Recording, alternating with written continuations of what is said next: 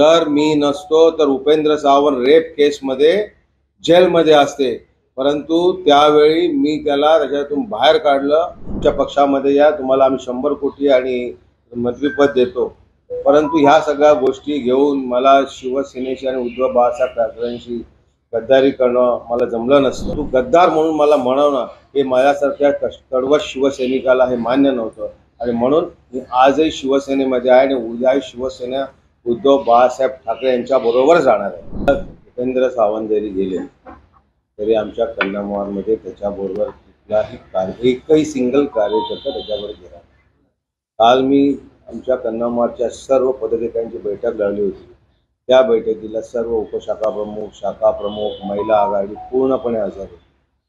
उपेंद्र सावंत एक दहा दिवसापूर्वी मला म्हणत होते की मला पंधरा कोटीचा फंड आणि पाच कोटीची कॅश अशी ऑफर मला तिकडनं कंटिन्यू येते. परंतु मी जाणार नाही. हे त्याचं श वाक्य होतं. परंतु काल तो अचानक गेला. बघा निष्ठा ही कधी कधीही पैशाने विकत घेता येत नाही. तशी मी काल म्हणालो की मलाही शंभर कोटीची ऑफर होती. परंतु शंभर कोटीची ऑफर मी घेऊन शिवसैनिकांमध्ये असणारी आमची निष्ठा प्रेम पक्षाबद्दल असणारी प्रेम आणि निष्ठा ही कधीही मिळणार नाही.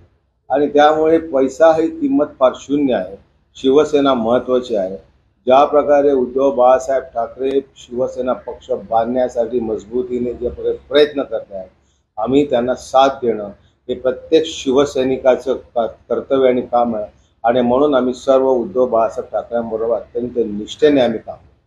उपेंद्र सावंत संदर्भातले काही व्हिडिओ सुद्धा आपल्याकडे आहेत का? प्रचंड माझ्याकडे व्हिडिओज आहेत जर मी नसतो तर उपेंद्र सावंत रेप केसमध्ये जेलमध्ये असते. मी परत सांगतोय वाक्य. जर मी नसतो तर उपेंद्र सावंत रेप केसमध्ये जेलमध्ये असते. परंतु त्यावेळी मी त्याला त्याच्यातून बाहेर काढलं आणि म्हणून आज उपेंद्र सावंत फार मोठ्या गोष्टी हे करतायत. ते त्याला त्याच्या आई त्याच्या बायकोला त्याच्या बहिणीला सगळ्यांना माहिती आहे. मी त्याला कशा प्रकारे बाहेर काढलेलं त्यामुळे उपेंद्र सावंत ह्या गोष्टी आम्हाला शिकवणार शंभर कोटींची ऑफर घेऊन संजय राऊत यांचं घर फोडण्याचा प्रयत्न केला जातोय.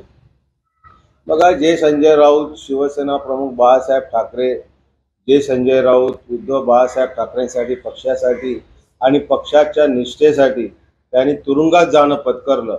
परंतु भारतीय जनता पार्टीकडे दिल्ली पुढे त्यांनी गुडघे टेकले नाही आणि त्यावेळी त्यांची ज्यावेळी हे सगळं चालू होतं त्यावेळी स्वतः मला प्रचंड ही ऑफर होती की तुम्ही आमच्या पक्षामध्ये या तुम्हाला आम्ही शंभर कोटी आणि मंत्रीपद देतो.